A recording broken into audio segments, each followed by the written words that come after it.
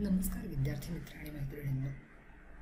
या व्हिडिओमध्ये आपण महात्मा ज्योतिबा फुले व सावित्रीबाई फुले यांच्याविषयी माहिती बघणार आहोत. आपल्याला माहिती आहे की महात्मा ज्योतिबा फुले आणि सावित्रीबाई फुले यांचं शिक्षण क्षेत्रात महत्त्वाचं योगदान आहे. महात्मा ज्योतिबा फुले यांच्यापासून आपण सुरुवात करूयात. महात्मा ज्योतिबा फुले. महात्मा फुले हे मराठी लेखक विचारवंत समाजसुधारक होते. महात्मा फुल्यांचा जन्म अकरा एप्रिल अठराशे सत्तावीस रोजी झाला होता. त्यांचं मूळ गाव सातारा जिल्ह्यातील कटगुण हे होतं.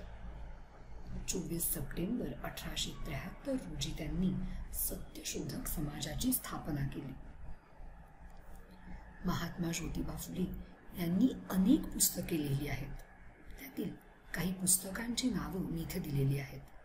तृतीय रत्न गुलामगिरी शेतकऱ्याचा आसूड ही काही नावाजलेली पुस्तके आहेत. महात्मा फुले यांनी मुलींच्या शिक्षणासाठी खूप प्रयत्न केले तसेच अनेक शाळाही सुरू केल्या. सावित्रीबाई फुले. सावित्रीबाई फुले यांचा जन्म सातारा जिल्ह्यातील खंडाळा तालुक्यातील नायगाव येथे झाला होता.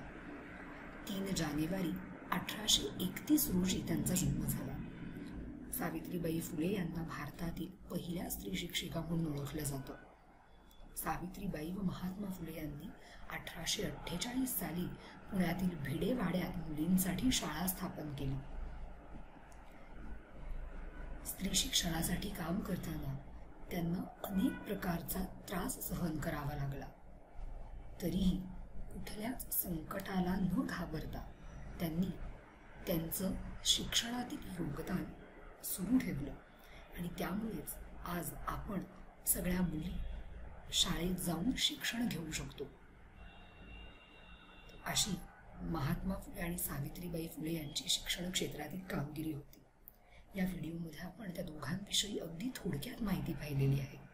तुम्ही जास्तीत जास्त त्यांच्याविषयी वाचा माहिती मिळवा.